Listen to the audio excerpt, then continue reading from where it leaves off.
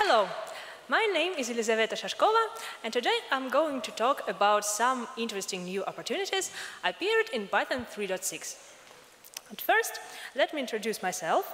I'm a software developer at the, the JetBrains company. I'm working in PyCharm team. I work on debugger in PyCharm, and I've come here from St. Petersburg. Uh, when we write programs, unfortunately, we always introduce bugs into them. And there are many different ways to find these bugs. For example, you can just simply add print statements. Uh, also, some people prefer logging. In fact, it's the same print statements, but with ability to turn it on, off, or add some options. But there is a big separate group of tools named debuggers. Uh, debuggers are much more complicated than, than logging because they allow users to pause the program in some place. They allow to execute stepping commands, so to monitor the, the program execution line by line, uh, watch uh, the variables values, and do something else. But unfortunately, there are many people who prefer print statements and logging to debuggers. Why such people exist? The answer is quite easy, because debugger is rather slow. On average, in big real-life programs, uh, it's usually almost 30 times slower to run program under debugger than run it without debugger. Uh, I think it isn't breaking news for you, because everybody knows that debuggers usually slow down program execution, but why does it happen? And what can we do with that? Uh, today in my talk, I'm going to answer to these questions, and we will learn how to build Python debugger and how to make it faster. Let's start with tracing debugger. Uh, it's named tracing because of tracing function. Uh, Python, Python, provides a standard way to set this system tracing function. Uh, it takes three arguments, frame, event, and arg, Frame uh, object uh, contains the information about the current state of the program.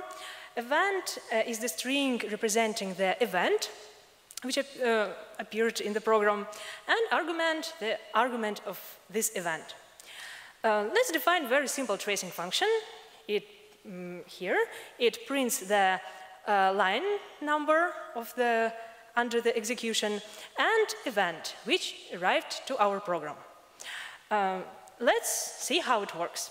For example, we have very simple function foo, and we define this tracing function. On the first, we will receive an event call on the line 1 because we called function foo. After that, we receive event line on the line 2 because line 2 is executed. After that, we receive two events line again on the lines 3 and 4. And after that, the uh, output hi Bob will appear in our program. After that, we will receive event lines again on lines 3 and 4. And then uh, execution goes to line 5, and we receive event return on the line 5. That means that we are leaving the current function, we are leaving the current frame. Okay, how can we build debugging, debugger based on this function? Debugger consists of two parts, breakpoints and stepping commands. Breakpoint allows uh, to stop program on some special place, and stepping commands allow to uh, execute command, monitor program execution line by line. Uh, and we can uh, implement both these parts of debugger with our tracing function uh, for breakpoints, we can, uh, inside our tracing function, we can check the current line number. And if its line number equals breakpoints line number, we understand that we need to pause program in this place, so we call some breakpoint function, which uh, pause our program. In fact, it's continue in infinite loop until program until user continues program execution. And for stepping, we can use our tracing function too. We just check the type of event which arrived to our program, to our tracing function, and handle it in different cases. Okay, we built our tracing debugger, it works, but we tested it just with a very simple program. But what if we consider more complicated program? For example, this function calculate, it uh, sums number from 0 to the seventh power, power of 10. And let's define a very simple tracing function. It in fact doesn't even print anything. It's just return itself to continue tracing in the current frame. And let's run our function calculate. If we run it without debugger, it takes about one second to execute our program. But if we run it with our tracing function, it takes already almost seven seconds. Our tracing function is very, very simple, but we called it on every line of our program. And if, for example, we have in our tracing debugger three breakpoints, so it means that on every call in our tracing function, we need to iterate through loop with three elements. It takes already almost 20 seconds. So it takes uh, much more time. The program becomes almost 25 times slower. And let me remind you that the tracing function was very simple. And this small experiment uh, shows us that uh, explains why running a debugger is much slower than running program without debugger. And the main problem with our, the main problem with our tracing debugger is that we call our tracing function of every line of the program. Okay, let's remember this problem and let's consider a small story about Python 3.6. As everybody knows, Python 3.6 was released uh, half a year ago. It has many cool features, and one of them is new frame evaluation API. Uh, it was introduced in PEP 523, Python Enhancement Proposal, and um, PEP 523 allows to specify per, per, interpreter function pointer to handle the evaluation of frames. And also it adds a new field to the code object to use it by this frame evaluation function. Um, okay, let's, it sounds a bit tricky, but we will consider an example. We'll try to write our custom frame evaluation function. Uh, this is a frame evaluation API. This is, in fact, C API. So in order to use it, you need to write C extension, but, for example, you can write Cython, Cython extension, like we do it in PyCharm. And for better readability, I will use Python. Uh, but, in fact, this code is written in Cython. OK, we will defining our custom frame evaluation function. Uh, it takes two arguments, frame object, which we've already seen in tracing function, and exception flag. Uh, in, uh, we have frame object, so we can get the name of the current function, we can get the line number of this frame. So let's print this information and call the default frame evaluation function. We doesn't want to change program's behavior, we just want to print some interesting information. And let's see, and we need to define this, uh, to call this uh, custom frame evaluation function. And let's see how it works with example. We have three functions, first, second, and third uh, one call, the first one calls the second, and the second calls the third. And when we run this program, we get this output. That means that our custom frame evaluation function was called on the line 1 when we entered the function first, on the line 4 when we entered function second, and on the line 7 when we entered function third. Okay, it works, that's great. Uh, and also from this example, uh, we learned that our frame evaluation function was executed while entering every new frame. And inside this frame evaluation function, we have an access to frame object. Uh, so for, to the code object as well. Okay, we know about this new cool Python 3.6 feature. And you remember that with tracing debugger, we have problem that we called tracing function on every line of the program. And if we what can we do with that? We can remove tracing function. But in this case, our debugger will stop working. So we can't just remove it, but we can replace tracing function with our custom frame evaluation function. And let's try to build frame evaluation debugger. Debugger based on custom frame evaluation function. Uh, as you remember, every debugger consists of two parts, breakpoints and stepping commands. Let's start with breakpoints. Uh, when we had tracing function, we had a complete mechanism to monitor program execution, because in every line we know all information about event, about line number, but in case of frame evaluation function, we don't have such mechanism. Uh, but we have only frame object, and we need somehow insert breakpoints into this new frame which we are entering. And we can do it another way. We can insert breakpoints code right into frames code. So, for example, if we have very simple function maximum, which returns the biggest value of two arguments, uh, how can we return the breakpoints, for example, if we want to insert breakpoint on the line 3, that means that we want to insert some breakpoint function call uh, right before the return statement. So after our modification, the result will look like this. Uh, before, this, uh, before returning the value a, we want to call our breakpoint function and suspend program, and we want to wait so for some user comments.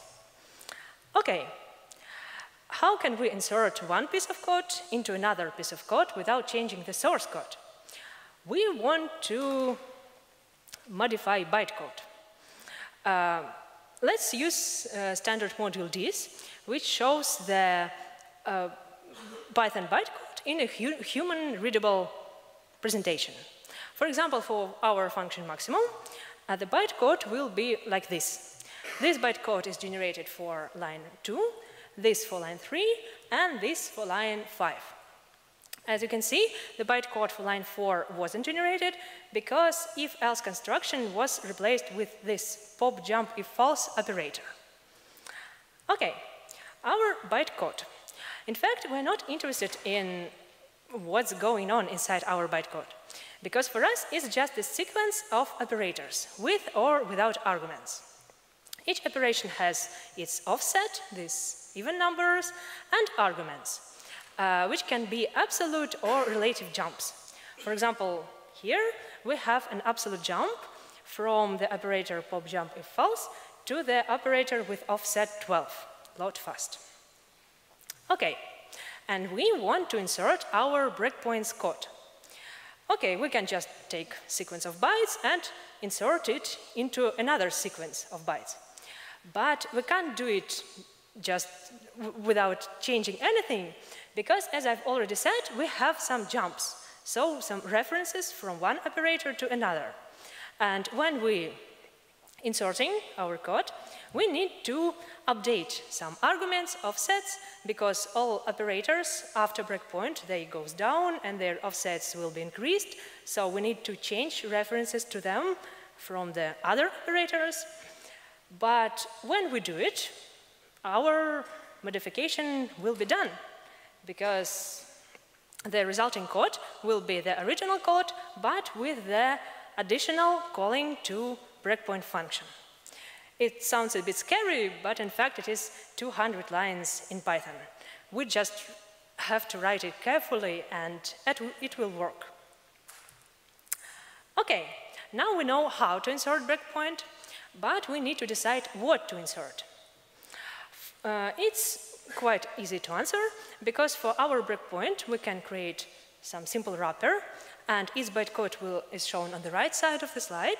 So we're just calling global uh, name, we're just calling global function uh, before the bytecode modification, we add this global function to the frame global variables dictionary, so we can quickly just call it, and inside this function we can do anything we want, add some additional debugger functions, and we don't care about it, because for us it is just calling some global function and it's quite simple.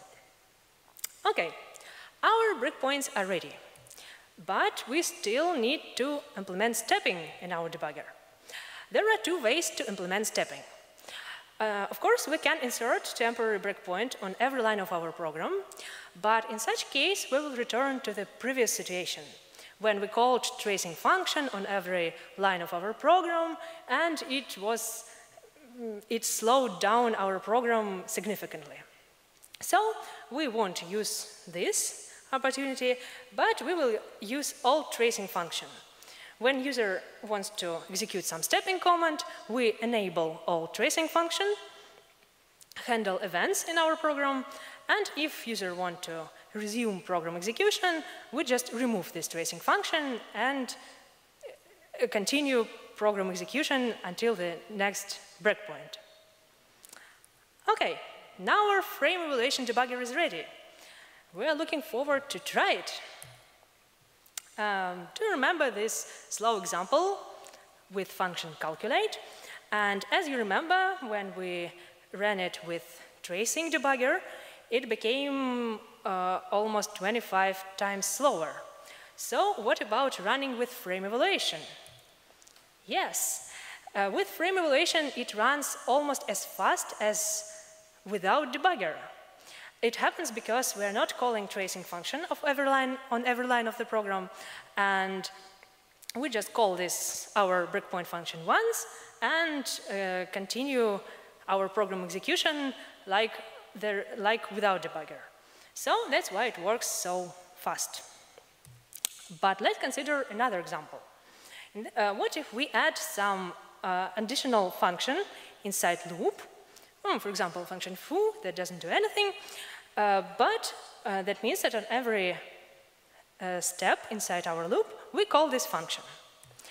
After that, sad news that our frame evaluation debugger becomes slower, much, much slower, because we return to the previous situation.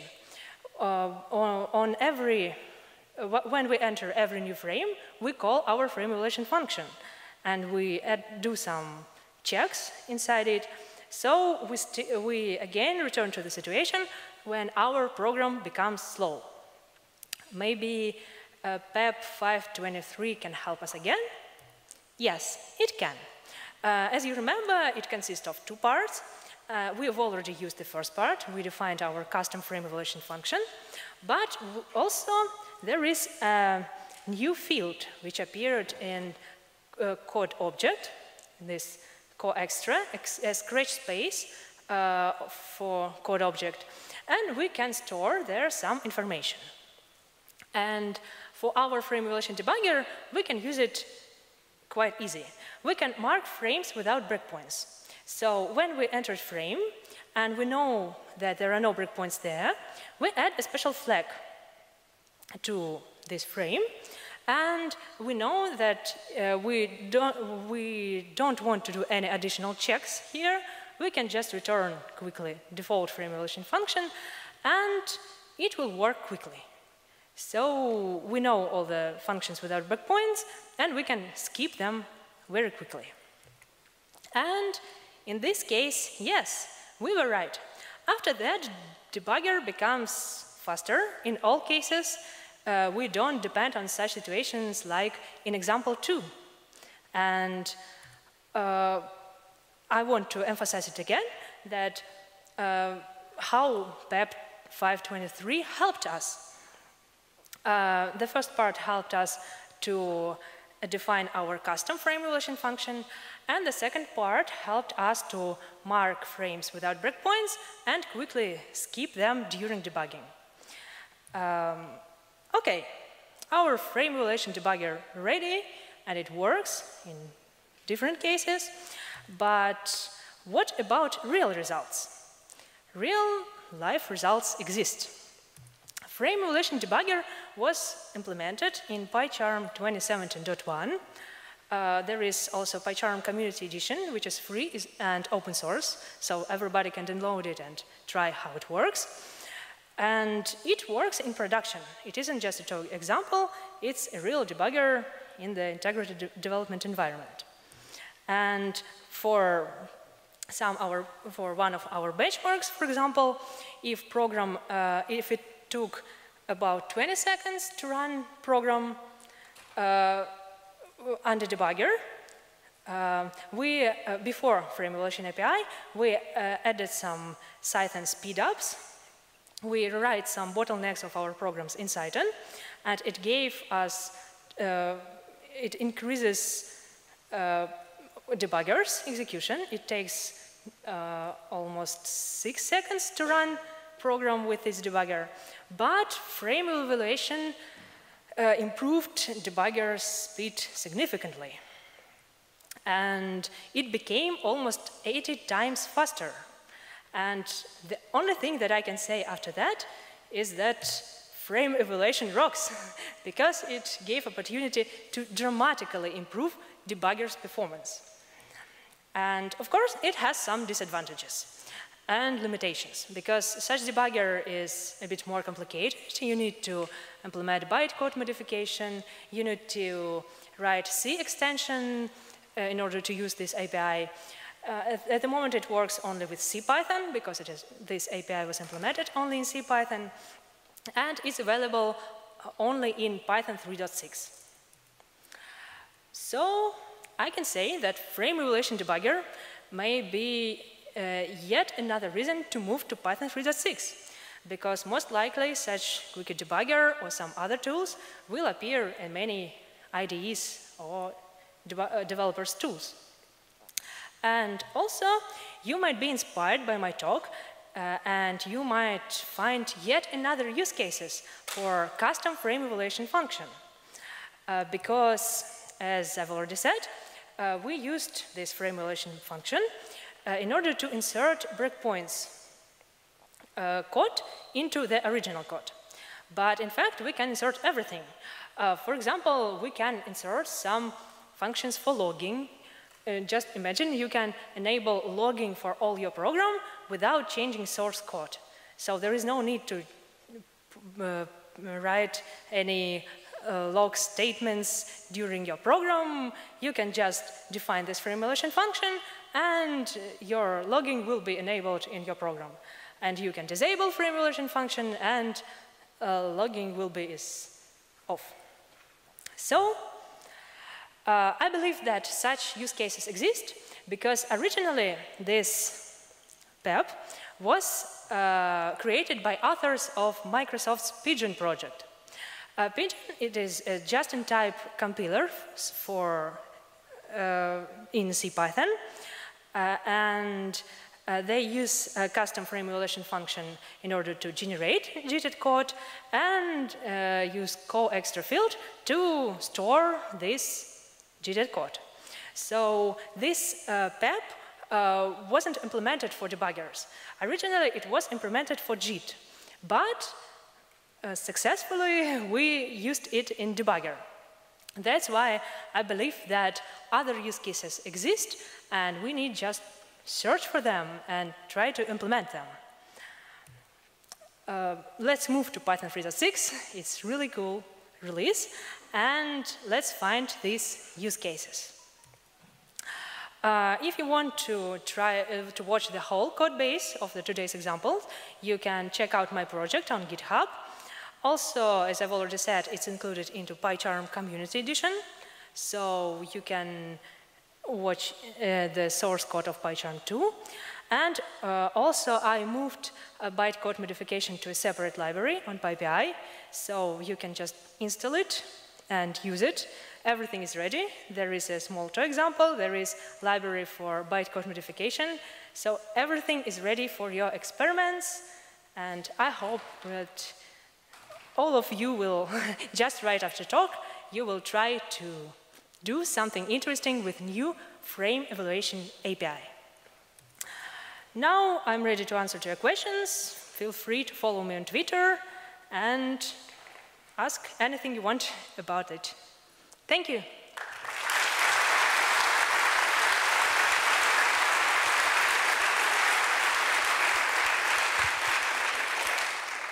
We have time for small questions, please.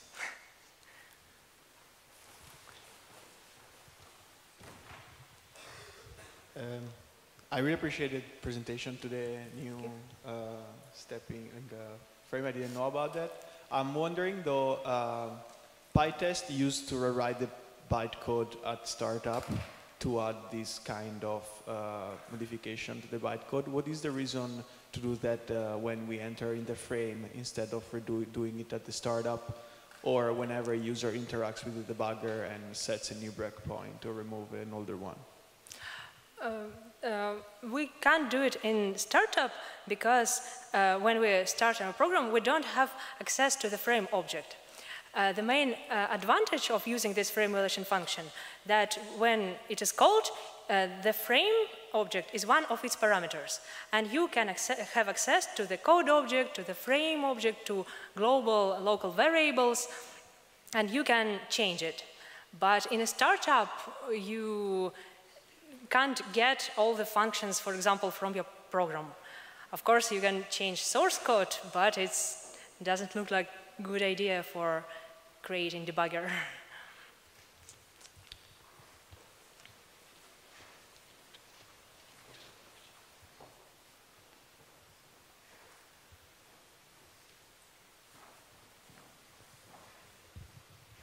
Hi, thanks for the talk. Can you use this to monkey patch C extensions? Uh, could you repeat, please? Can you use this to monkey patch C extensions? Monkey patch C extensions. Which is normally not so easy, but Python code you can quite easily monkey patch, but maybe with this thing you can go deeper. Would it be an opportunity for, I don't know, testing or mocking frameworks to do this at the C extension level? Mm, maybe it is possible. Uh, in fact, I didn't try it, but you can try and tell us about your results. and for the, I'm not sure. I, I don't know the answer, so unfortunately. Last question. Um, so you were um, inviting people to uh, create new use cases, but uh, what will happen if everybody writes to um, go uh, under extra? Uh, there is um, in frame evaluation API, I, I, didn't have enough time to mention it, but there is mechanism to multiple usage of this frame uh, evaluation API. When you use CoExtra, in fact, you uh, use it by index. You can see the number of usages, and in order to not to intersect with other systems who use this CoExtra. So they are stored separately. Thank you very much. Give her a hand.